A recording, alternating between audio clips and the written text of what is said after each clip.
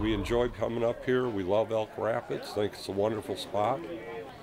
More than 70 artisans packed the streets of Elk Rapids this weekend. The 23rd annual Arts and Crafts Fair was held for several hours on Saturday. People from across Michigan gathered to showcase and sell their work. Paintings, jewelry, ceramics, metalwork, and more lined River Street in the heart of the village.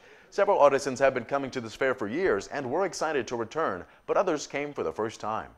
Well, this is our first one at Elk Rapids, and we are excited. We love the venue. The people have been excellent, and we've got a good group down here. So this is only our second show, so we're just getting started on the circuit, and we love it. This fair is the first of three that will be held in Elk Rapids this summer.